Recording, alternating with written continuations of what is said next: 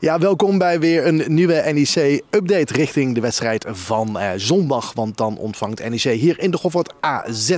Komen we zo meteen eventjes op. Belangrijke wedstrijd gaat dat worden in de competitie. Maar toch nog maar eventjes terug naar eh, ja, die verloren bekerwedstrijd. Want ja, dat deed pijn. Hoe is het met het gevoel nu? Uh, ja.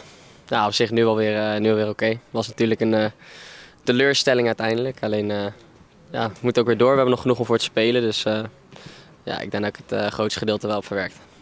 Ja, je zijn een paar dagen even vrij uh, geweest. Ook wel, wel nodig dan om dat te verwerken? Ja, denk het wel.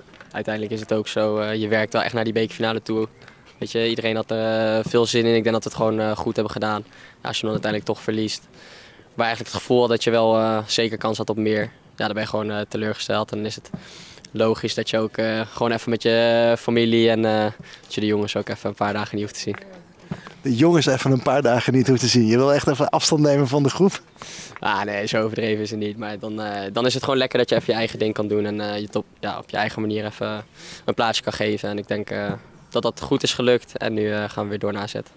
Ja, spelers teleurgesteld. Staf natuurlijk ook. Trainer Rogier Meijer. Ja, hoe ga je daar dan mee om?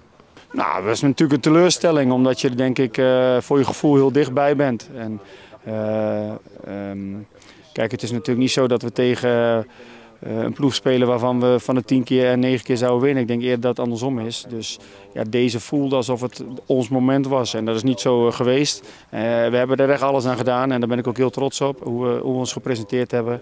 Alleen uiteindelijk is het dan wel teleurstellend dat je niet hebt gewonnen. En nou, dat doet even pijn en uiteindelijk ga je ook weer verder. Ja, en hoe verwerkt de trainer die pijn?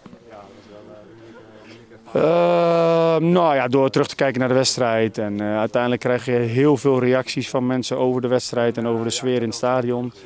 dat, uh, ja, dat eigenlijk geweldig was zoals wij als club ons gepresenteerd hebben. Nou, dat helpt uiteraard wel ehm, in het verwerken. En eigenlijk eh, vanaf dinsdag ja, ben je bezig met AZ, dus dat, dat helpt ook.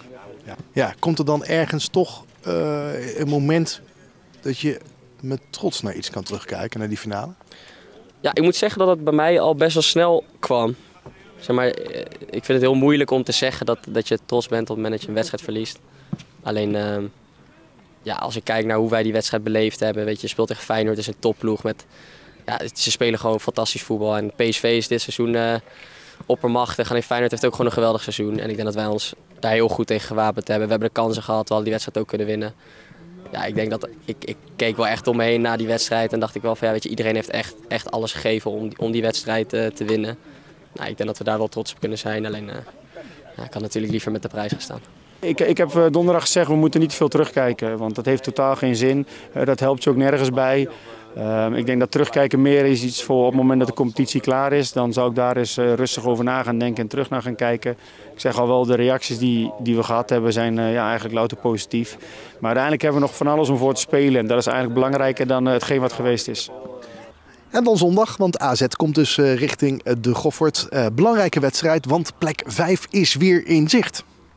Ja, weet je, uiteindelijk het resultaat van eh, Ajax eh, is voor ons gunstig geweest. Eh, zouden we kunnen winnen van AZ, ja, dan staan we weer op de vijfde plek. En dan kunnen we denk ik tot de laatste speeldag daarvoor meedoen. Dus dat is voor ons een mooie uitdaging. En wat ik al zeg, daar moet de focus op liggen. AZ is een lastige wedstrijd, gewoon een goede ploeg.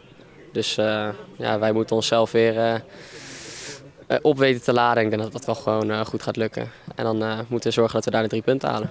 Kijk, iedereen weet hoe AZ voetbalt. Het is altijd een goed voetballende ploeg. We hebben natuurlijk wel een trainingswissel gehad wat in het begin uh, uh, goed ging. De laatste drie wedstrijden was dat iets minder.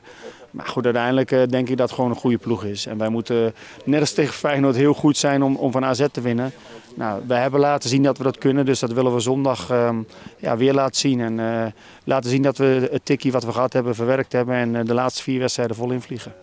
Is NEC al zover dat ze zoveel topwedstrijden kunnen spelen?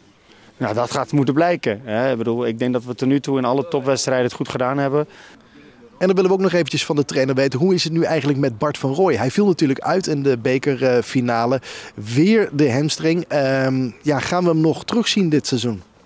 Ja, Bart is uitgevallen tegen Feyenoord. En uh, ja, eigenlijk met dezelfde blessure als dat hij daarvoor had. Dus dat risico hebben we genomen.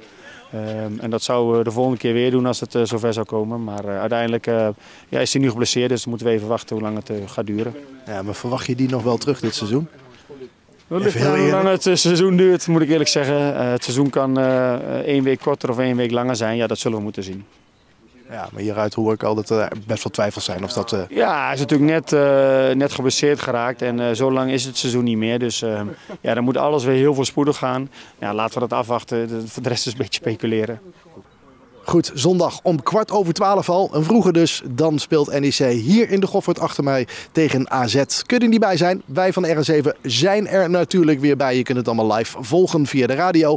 Even inchecken daar via rn7.nl. En dan volg je het live allemaal vanuit het stadion.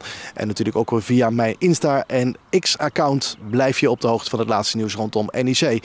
En wij zijn er heel snel weer met een nieuwe update. Natuurlijk na die wedstrijd van AZ. Ik zeg graag tot de volgende.